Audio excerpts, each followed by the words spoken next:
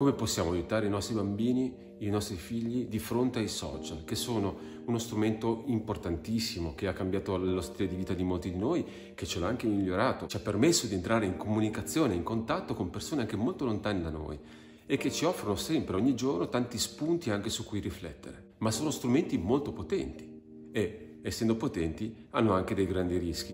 E i social non sono stati progettati da psicologi dell'età evolutiva o da educatori ben intenzionati, sono stati progettati da società che hanno come unico obiettivo quello del profitto e quello di aumentare sempre di più i propri utenti. Quindi i bambini che per sviluppo ancora non hanno le capacità di discernere concretamente tra un pericolo e un non pericolo, non hanno la capacità anche a livello emotivo di analizzare e di gestire le emozioni che provano di fronte a certe immagini, certi video, certi commenti, loro non possono difendersi da solo. A questo punto siamo noi adulti che abbiamo il dovere di aiutarli a superare indenni i pericoli dei social. Facciamo un esempio. Uno lascerebbe un bambino solo, indifeso, all'interno di una piazza enorme, gremita di gente, di folla, e senza controllarlo per un'ora, un'ora e mezza, anche due? Cioè non vorreste sapere se parla con qualcuno, se si sta allontanando, se c'è qualcuno che si sta rivolgendo a lui. Io credo che la maggior parte di noi non lascerebbe il bambino solo per tutto quel tempo. Ma questo invece non accade con i social o comunque con lo smartphone o con internet. Molte volte i bambini sono lasciati a loro stessi e si trovano a frequentare metaforicamente una piazza infinita, con miliardi di persone che possono accedere ai loro contatti, mettersi in comunicazione e anche chattare. E quindi poter trovarsi a dover rispondere a delle domande di persone che non conoscono, pubblicare foto di cui forse, forse si pentiranno. Quindi non sarebbe importante essere presenti quando loro chattano o usano il telefono e cercare di dirigere un po' il loro modo di utilizzarlo? Io credo proprio di sì.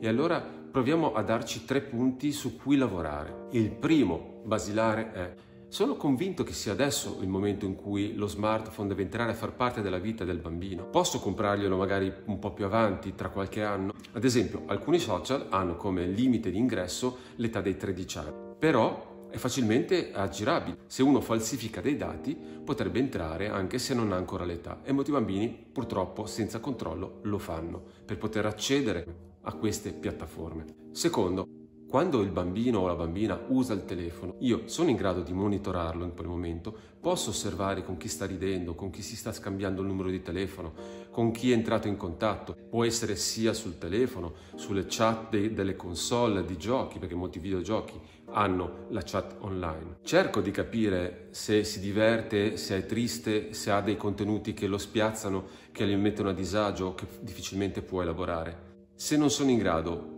posso trovare un modo per contrattare con lui l'utilizzo in modo tale che io possa essere presente.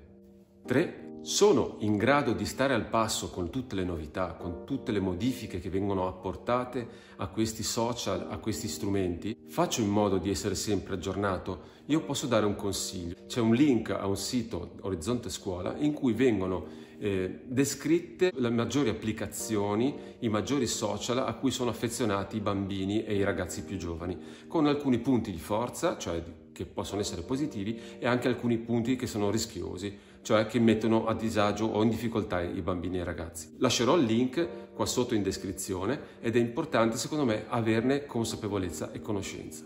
Per far sì che i social siano amici dei nostri figli, dobbiamo aiutarli a crescere consapevolmente, aiutandoli a gestirli in maniera adeguata alla loro età.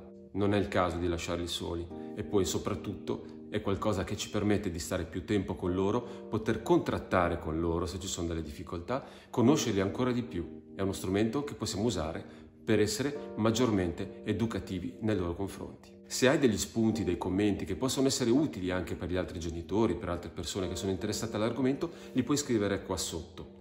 E se ti è piaciuto questo video e ti è interessato, lo puoi condividere con altre persone. E se vuoi, ti puoi iscrivere al mio canale YouTube.